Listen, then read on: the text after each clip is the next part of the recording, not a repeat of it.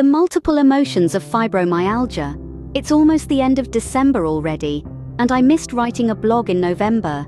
Seems I was trying to recover from the many crises, or at least perceived crises, in my life. The physiotherapist, Nick, said my nervous system was completely exhausted and to rest. For the past few weeks, things have finally quieted down, and I am having Feldenkrais movement treatments slash activities. I am somewhat certain that Tai Chi would be equally as effective as any kind of movement to help revitalize me somewhat. The fatigue is slowly dissipating, and with it some of the pain from all the hyperactivity and intense stressful emotions in my life. I am back on my recumbent bike a couple of times a week for about 20 minutes a day now, again. As I write this, I watch little light snowflakes outside.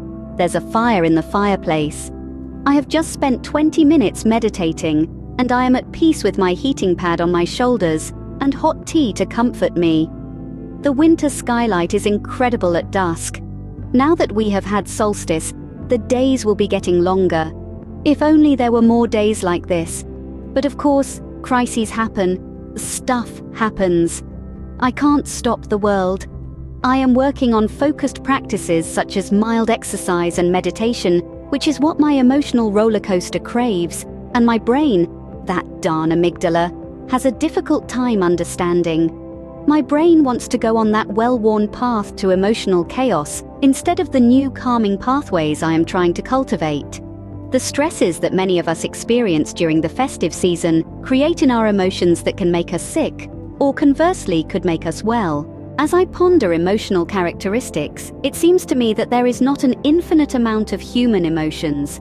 Feeling sad, happy, angry, fearful, stressed, anxious, joyful, while the list seems endless, I can see that many overlaps, and the one I do best is fear. It feeds on anxiety and brings along with it depression and anger. I know that pathway well. The brain then takes on the powerful emotion, and my pain increases.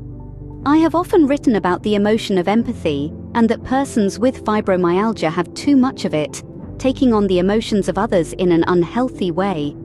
Now I suggest we try to replace empathy with compassion for others and ourselves, while maintaining boundaries with our feelings slash emotions that make us the overly sensitive persons that we are.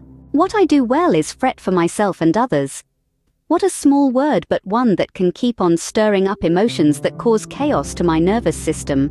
My New Year's resolution is to try to choose a new direction when I find myself fretting. I don't think the brain is as much plastic, some plastic is hard, not soft, as it is elastic. Neuroplasticity. So why not stretch it to a happy new place rather than the old worn one?